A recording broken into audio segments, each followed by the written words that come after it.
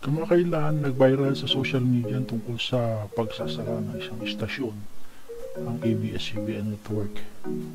Naglabas ng cease and desist order ang NTC at patapos ang ilang araw, naglabas naman ng pahayag ang ABS-CBN Network at naniniwala ng pagkawala ng mga kapamilya show sa buong bansa ay makaka-apekto daw sa mental health ng mga Pilipino.